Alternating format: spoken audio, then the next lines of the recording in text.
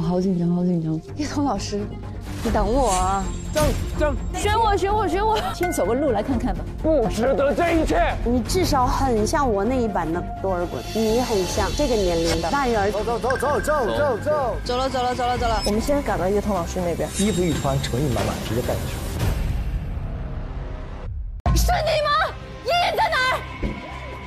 你绑架我女儿是吗？你这样让我兄弟怎么办啊？我不想要你的心脏了。你给我的感觉，你活在自己的世界里面。你应该去做一些主角和配角的训练。为什么我一点都没有感动？悬疑剧的选角已经结束了，很多人落选了，还有下一轮的机会的。你给我醒醒，你明白吗？讲话的那个人呢？你在想什么？你现在脑子里面光想的是这个情绪，而没有想为什么。卡了吧。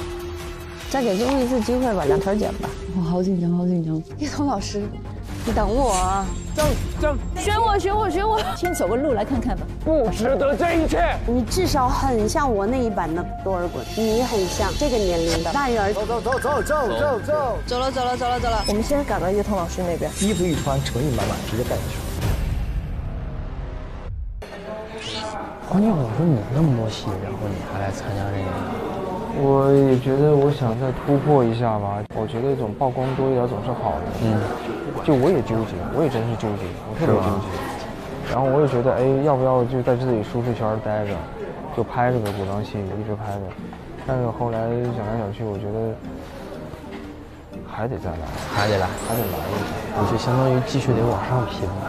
呃，能不能往上不知道，但但是我觉得得让大家能看着我，现在开始。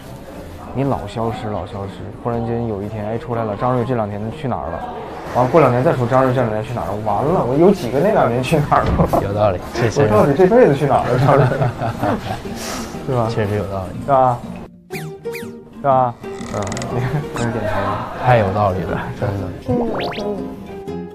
紫薇老师，我们就认识你啊，老师。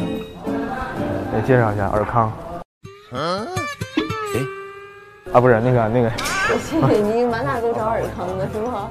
不会，你的好兄弟就这么好找，遍地是尔康。是是是，都是好找。对对对。你多大呀？二十五。我那么小。我们都二十七八，都快三十了。你拉倒吧。演员的黄金年龄三十五岁。妈妈，就跟你说，就是慢慢。男生更晚，四十五、四十五。你得背得出来，就慢慢熬。对，是，就就像打麻将似的，你知道，每到牌桌上最后一个，牌桌最后一个，这也不知道。嗯，聊会儿。不，你你赶紧给我坐哪？你别给我省事儿啊！你也不搭话呀，你就快挺好，挺好。你性格特别好，他肯定也能演喜剧，是吧？还行吧。他是喜剧大赛出来的。哦。他性格特别好，确实确实可以演喜剧，他确实可以演喜剧，真的没开玩笑。而且你说东北人，东北人自带节奏，喜剧的节奏这种。我平时比较高，别人看不出来我的喜剧天赋。你看他穿这么多，是吧？对对，完个儿又高，又高又冷，那是他冷，不是说高冷。对。啊，这几天我就觉得特刺激，就是正常拍一个电视剧啊，三个月都遇不到的事儿，这两天应该发生了两三倍。真的是，真的是。各种意外情况，各种突发事件。这几天我只能说我的日子非常的抓马。呃，翻译成普通话怎么解释抓马？就是抓了三只马。嗯，对，差不多，一天一只，一天一只。接下来避免抓马，来抓驴，抓羊。在无限超越班，我感觉挺赚的，赢得了一些机会，然后我们各个导师真的在当我们徒弟一样的在教我们，很开心。就我自己现在肯定还是想要重拾，就是好好拍戏的那个信心嘛。然后我觉得更重要的就是好好培养一下专注力这件事情，这是我学到的一件事。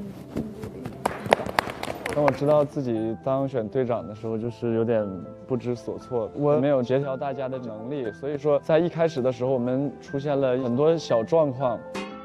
但是呢，我们后来的这两天，全队的六个人可以说是近乎疯狂的比分，凝聚力非常强。你要说。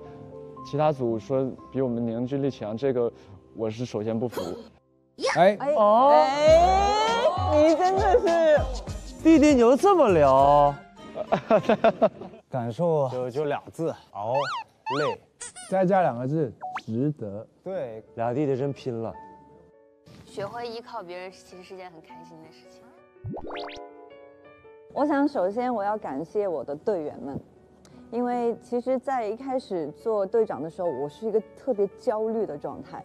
但是这么密集的这个工作里面，我觉得很快的建立了队员之间的那个 bonding。在遇到事情的时候，大家真的是很为对方着想，很希望对方好，所以我这次很开心可以跟他们一组，我也很期待跟你们合作啦。后面如果有机会，大家可以多相互，就是我们换着合作合作，说不定就比如说我跟你，哎，有一个不一样的火花，你跟他有一个不一样的火花，反正特别棒。我是这么想的，就是我是大学毕业之后啊，很少就没有碰到过这样的氛围，我特别特别的开心。十几个同学，每一个同学都很优秀，你没发现每一个同学都像每个班里该有同学的样子，就是不撞型。比如说有高高帅帅的，你看这丝胡子自己，对吧？包括还有大葱这样的。哎，我哪样呢？一直有包袱。不是有，不是偶像包袱，是抖包袱。来来，你把话给我唠明白，我哪样的？不是，你就你这这长相，你说咱俩比脸长谁长？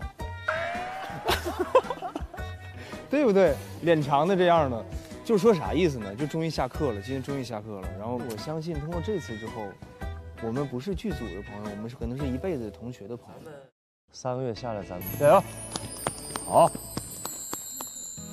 啊，这几天我就觉得特刺激。就是正常拍一个电视剧啊，三个月都遇不到的事儿，这两天应该发生了两三倍，真的是，真的是各种意外情况，各种突发事件。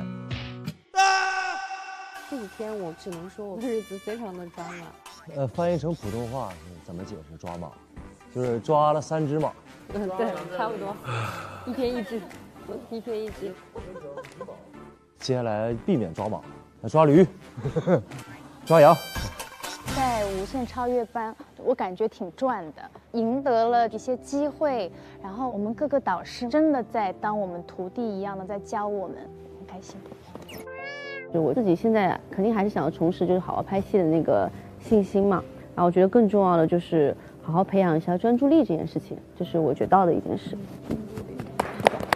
当我知道自己当选队长的时候，就是有点不知所措。我没有协调大家的能力，所以说在一开始的时候，我们出现了很多小状况。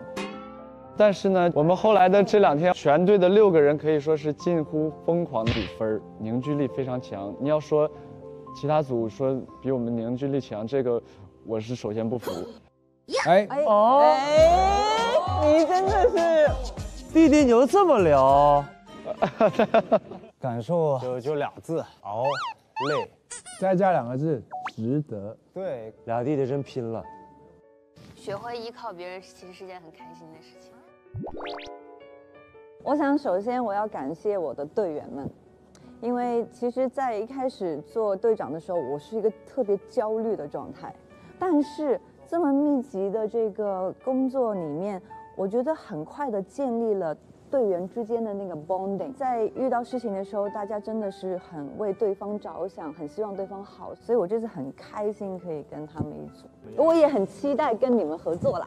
后面如果有机会，大家可以多相互，就是我们换着合作合作，说不定就比如说我跟你，哎，有一个不一样的火花，你跟他有一个不一样的火花，反正特别棒。